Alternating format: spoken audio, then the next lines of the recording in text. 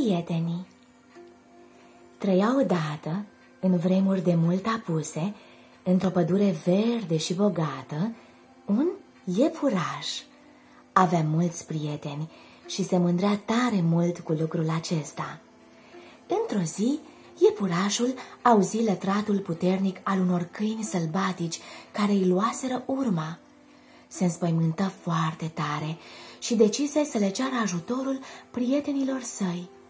Fugi la cerb și spuse, Dragul meu prieten, câțiva câini sălbatici mă fugăresc, îi posture pe zi cu coarnele tale? Cerbul îi răspunse, Este adevărat că aș putea face asta, dar acum sunt ocupat.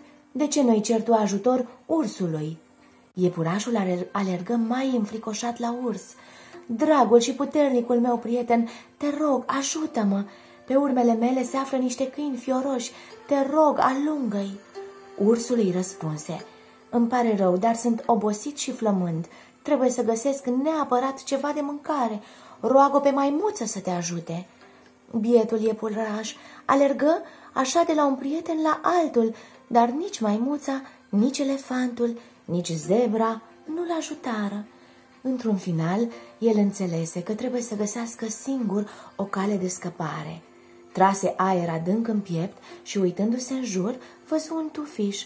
Se ascunse și el în spatele tufișului, se lungi la pământ și stătu fără suflare, cu inima bătându-i să-i sară afară din piept, până trecură câinii. Morala Adevărații prieteni sunt cei care te ajută atunci când ai nevoie. Ei sunt întotdeauna alături de tine, iar atunci când nu este nimeni în preajma ta să te ajute, stă în puterea ta să o găsești, acea soluție pentru a ieși din încurcătură și a depăși orice piedică. Nu te da bătut niciodată.